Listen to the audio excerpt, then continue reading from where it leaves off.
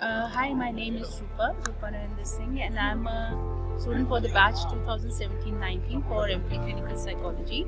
My journey in this institution has been very rejuvenating, so I'm all charged up to start up and conquer new horizons. Thank you. Thanks, Amity.